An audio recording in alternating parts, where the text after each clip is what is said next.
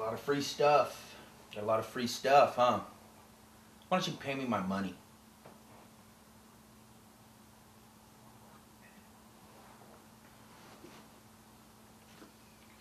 I'd kill you for money, Jehovah.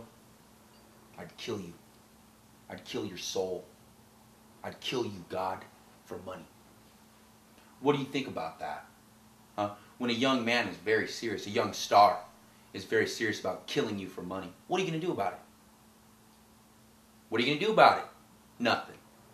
That's what you're going to fucking do about it. Because you're too fucking pussy, that's why. Fucking idiot.